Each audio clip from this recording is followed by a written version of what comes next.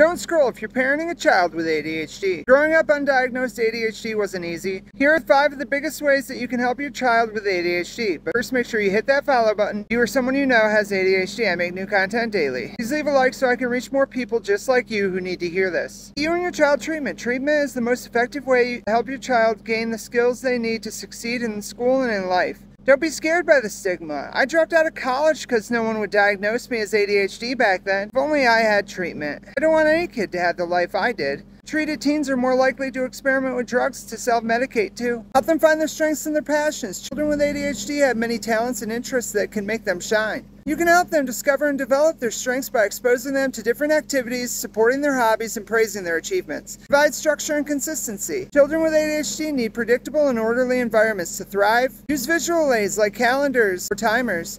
Teach them coping skills and strategies. Children with ADHD face many challenges that can affect their self esteem, mood, and behavior. You can help them by teaching them coping strategies to help them manage their emotions, impulses, and attention. For example, you can teach them how to use positive self talk, deep breathing, and mindfulness techniques. Collaborate with their teachers in schools. Children with ADHD may need extra support and accommodations. Advocate their needs and help them with their homework, assignments, and projects. Take care of yourself and your relationships. Parenting a child with ADHD can be stressful and demanding. You can also seek support from your partners, family, friends, or professionals if you need it. Thanks for watching to the end.